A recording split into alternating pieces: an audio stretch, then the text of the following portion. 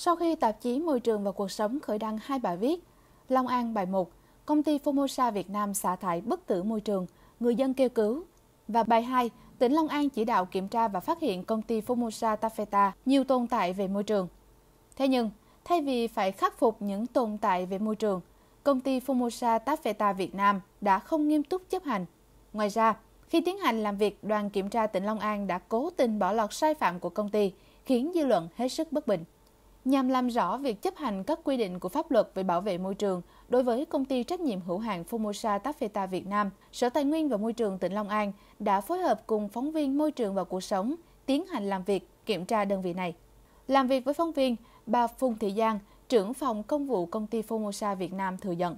Mấy anh có phát hiện là trên bầu trời có một cái ống màu vàng vàng. Cái ống màu vàng, cái cần màu vàng là cái cần bơm bê tông. Và trong cái bài báo đó em coi rất rõ từng hình ảnh chi tiết của cái video clip em coi rất rõ.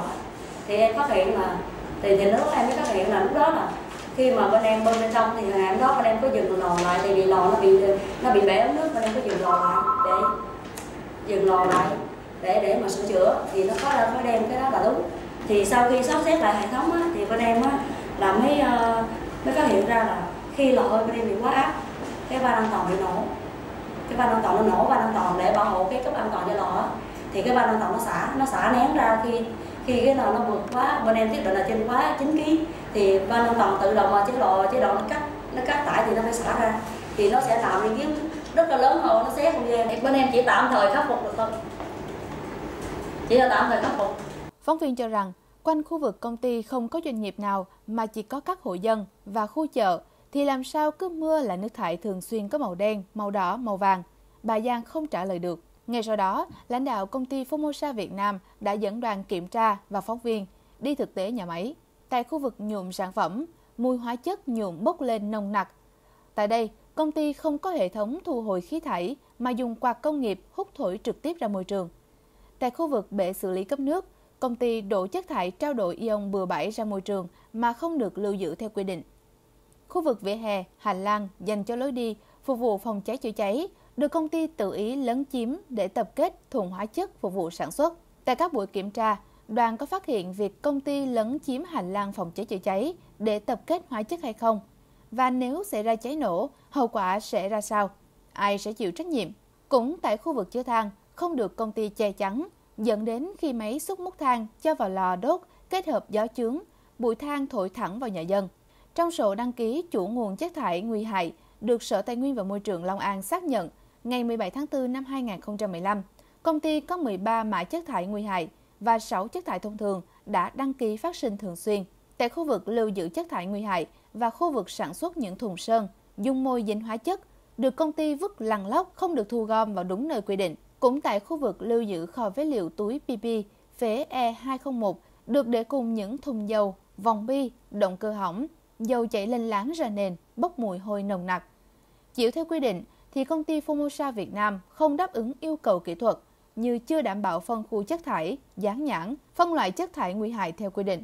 Ngoài ra, tại khu vực bồn khí LPG, các nắp cống của rãnh thoát nước đều bị hư.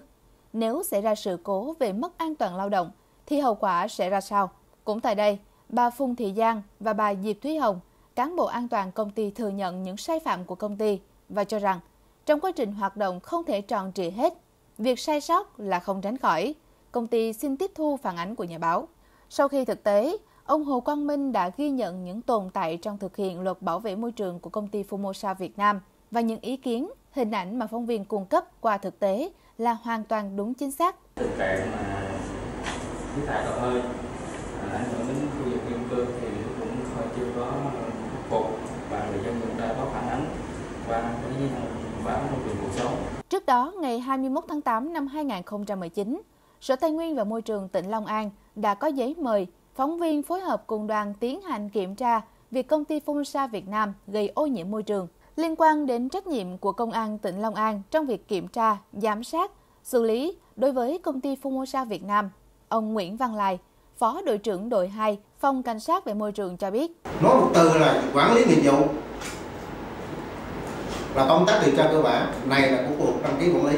Nhưng mà tôi nói cho anh biết C05 xuống đây có kiểm tra không có thông báo cho ờ, BC05 hay không anh hỏi chính cục nói chung là giữa C05 với BC05 chưa kiểm tra trong này lần nào. Còn cái chuyện biên bản có kiểm tra đây của C05 hay tôi cũng nói rồi. Được biết tại buổi kiểm tra ngày 9 tháng 7 và ngày 23 tháng 8 năm 2019, đoàn kiểm tra đều lấy mẫu gồm khí thải, nước thải, đồ ồn. Khi phóng viên đề nghị ông Minh cung cấp kết quả kiểm nghiệm các mẫu về môi trường của công ty Formosa Việt Nam, ông Minh hứa trong ngày 4 tháng 10 năm 2019 sẽ gửi kết quả đó tới tòa soạn. Tuy nhiên, đến nay, tòa soạn chưa nhận được những hồ sơ mà ông Minh nói cung cấp trước đó. Phải chăng ông Minh hứa với báo chí cho xong để trốn tránh trách nhiệm của mình? Tại kết luận thanh tra về bảo vệ môi trường của Tổng cục Môi trường đối với công ty Formosa Việt Nam trong năm 2016 và 2017 cho thấy mọi thông số đều đẹp, công ty không vi phạm gì. Dư luận cho rằng việc đoàn thanh tra Tổng cục Môi trường và đoàn kiểm tra của Sở Tài nguyên và Môi trường Long An kiểm tra có thật sự công tâm. Nếu kết quả đều đẹp, thì tại sao nhiều năm qua người dân luôn phải sống trong nỗi bất an về khói bụi, tiếng ồn của công ty Formosa Việt Nam gây nên? Điều đáng nói, trong biên bản kiểm tra ngày 9 tháng 7 và ngày 23 tháng 8 năm 2019 đối với công ty Formosa Việt Nam đã thể hiện rất rõ những vi phạm của công ty trong thực hiện luật bảo vệ môi trường. Nhưng tại sao đoàn kiểm tra không lập biên bản vi phạm hành chính để ra quyết định xử phạt đối với công ty Formosa Việt Nam?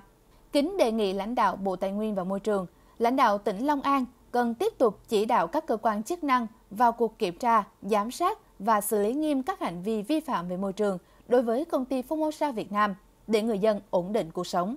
Tòa soạn Môi trường và cuộc sống, môi trường.net.vn sẽ tiếp tục thông tin trong các phóng sự tiếp theo.